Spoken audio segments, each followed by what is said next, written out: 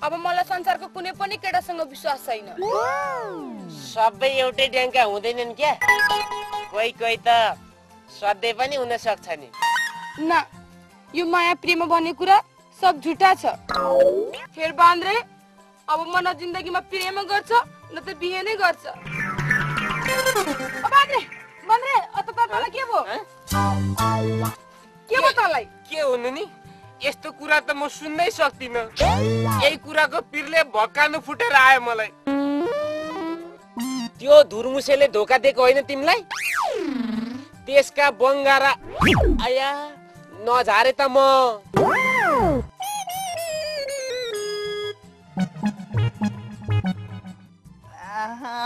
बान्द्रो? के? के बस्या त? गफ बस्या? बिचारीलाई कम ठुलो पिर परेको छ त? त्यो धुर्मुसे भन्ने लफङ्गे हो क्या? त्यसका त बङ्गाएर नजारी हुँदै हुँदैनन्। मैले भने पनि त्यसका त बङ्गाएर झारिदिन्छु क्या म। यस्तरी आया पट्याङ। यस्तरी पट्याङ। त्यसका बङ्गाएर नजारी हुन्छ। यस्तरी झार्नु पर्छ क्या त्यसका बङ्गाएर। बान्द्रे यसलाई गई हाल भन्। यसको अनुहार पनि हेर्न चाहन्न म। सुनि छैन लफुङ्गा? एउटा अबला नारीलाई प्रेमको नाटक गरेर अलपत्र पार्ने तै लफुङ्गा होइनस्? जा! कस्तो? ठ्याक्कै मनकै कुरो भनौँ भने। भाकै कुरो बोल्छ क्या यो बान्द्रे? तिमीले पनि सुन्यो होइन भने तर यो कुरो झुटो हो के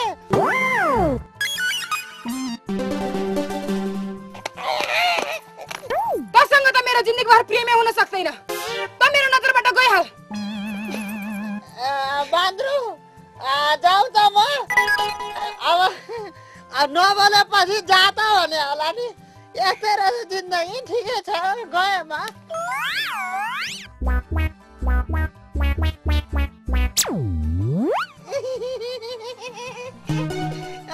त्यहाँ त्यस्तै भएर त्यही भइरहेर त त्यही भएर त्यहाँ गएर त्यस्तै हो त्यस्तै भएपछि उस्तै हुन्छ उस्तै भएपछि त्यही त हो नि जाउँ जाउँ भइगयो जाउँ अब तिमीलाई छोड्दिन भनेर कसम खाइसकेपछि अर्का गाला कुटिरहनु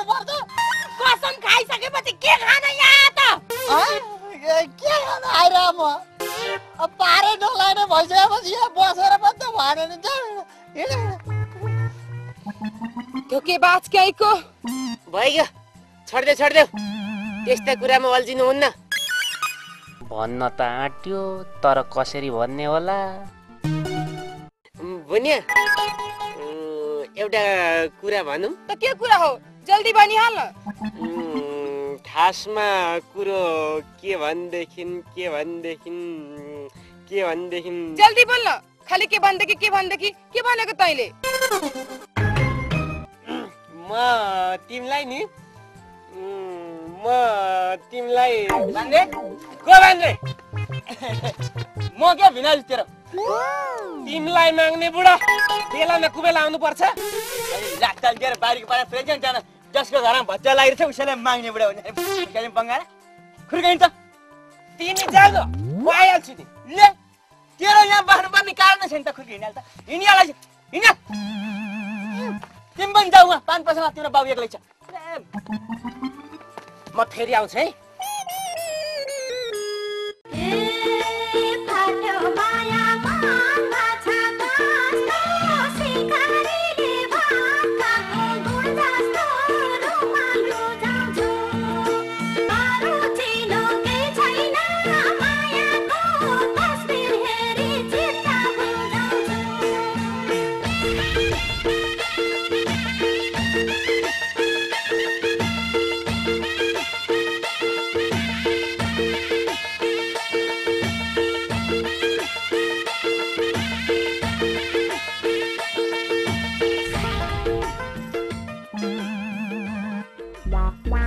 म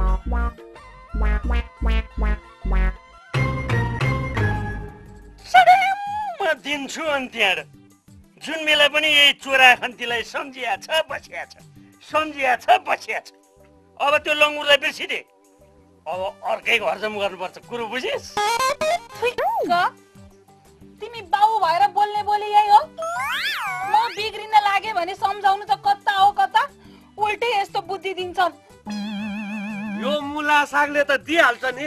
यसलाई के दिन हुने के नहुने के गर्न हुने के नहुने के थाहा यसलाई? के थाहा छैन मलाई? ल एक वर्ष अगाडि घर बनाउँदाखेरि ऋण लिएको आजको मितिमा तिर्नुपर्छ भन्ने थाहा छ त तँलाई? ल खुरुक्क तिर त पैँसठी हजार सात सय। बरी सुनि छैन पैसा तिर्नु पर्यो नि त अब। मलाई के मतलब? मैले नलिउ बा नलिउ भन्दाखेरि आफै जान्ने भएर लिएको होइन? तिर न अब। अब मैले तिर्नु पर्ने भयो होइन त। एकछिन है।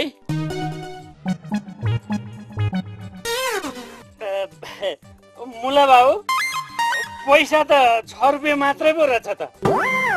यतिले हुँदैन होला। अरू छैन त। अँ, तैँले त्यसै भन्लास् भनेर मैले यहाँ कागज गरेर राखेको छु। ल खुरुक्क तिर त। भए जति निकालिहालेँ बनाएर बन्ने होइन अरू त छैन त। छैन भने तेरो त्यो घर ज्वाइँ कहाँ गयो? त्यसलाई बोला हली राख्छु म त्यसलाई। के भन्यौ रे? मेरो बुढा तिम्रो घरमा हली बस्ने औकातका हुन्? तिमीलाई त हली राख्ने नै भए ओ बाउलाई लिएर जाने। उनकै बुद्धिले गर्दा यस्तो भएको त हो नि। म छँदै छु नि हली बस्ने। सजराबा ए गोरु धपाउनलाई लट्ठी पनि रेडी नै छ के के छ त विचार भइहाल्छ नि उसले भए सबै काम गर्छ कि तँ किन जान्ने हुन्छ से उसले भने कुरो सही छ क्या ससुराबा हली भन्ने कुरो त बलियालाई पो राख्नुपर्छ त बा! म उता हली बस्न जाने भन्ने कुरामा तपाईँको के सहमति छ त? मौनौ सहमति जाने यति बेला संस्कृत पढ्यो अहिले काम लाग्यो। एकैछिनै होइन है बा के भएको यसको बुद्धि? हली बस्न सोरिरहेछ त। लुतोको ओखती नि। उ- उता गएपछि पनि दल्नलाई चाहियो नि। फेरि कडाएर खैके खैके होला भनेर नि। मेरो त्यो इष्टको ढोरो सुकाएको थियो। सुकिसकेपछि उता ल्याइदिनु नि। तिम्री निर्मली दिदीलाई भन न ल्याइदिइहाल्छिन् नि। ल तेरो र मेरो हिसाबमा यसले काम गरुन्जेल दिनको साठीको दरले कटाउँदै जान्छ। साठी अलिक कम्ती भयो के बा? पचहत्तर दिनु न पचहत्तर। धुर्मु त अरू हली जस्तो होइन क्या?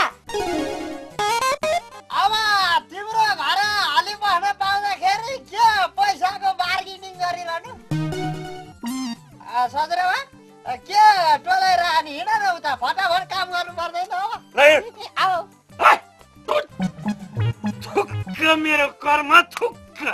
एउटा भएको छोरो पनि शत्रुका हलिबहललाई दौडन्छ अरे के का थुक्का नि? जस्तो बाउ त्यस्तै छोरो। नगर त हल्यो कहिले बोको म बोकिदिन्छु। हाली बस्न आएपछि यस्तै हुन्छ कि? यसलाई सासुआमा? म त हली बस्न आएँ त अब के हो कसो कता हो? कता हो होइन? बिहानदेखि भैँसीको गोबर सोरेको छैन जा गएर सोर ए छिटो जा खोज्न आइनस् त मुला साग जमिन यो लुतोको खाति फेरि घिउ भनेर भाषा सोब्रे सोब्रे मुछेर लाइन भित्र भुवा त अब बोर्ड नै बिग्रियो नि मुइने छिडा उहाँ हेल्प बस्न डाक्टर आइसक्यो होला ल। अहिले गाडामा पुड्याङ्ग दिन्छु अनि त्यहाँ यत्रो कानमा यत्रो पिँढीको डिल बममा फलाल्ने हो दिउजिउ भएको मान्छेले ल यहाँ बस। किन भन्नु पर्यो यहाँ बसेन पहिला उहाँ हिँडेर जाँदाखेरि फेरि डाक्टरले गाली गर्दैन दिउजिउ भयो मान्छे यत्रो बाटो हिँडेर आएको भनेर खै झोलाले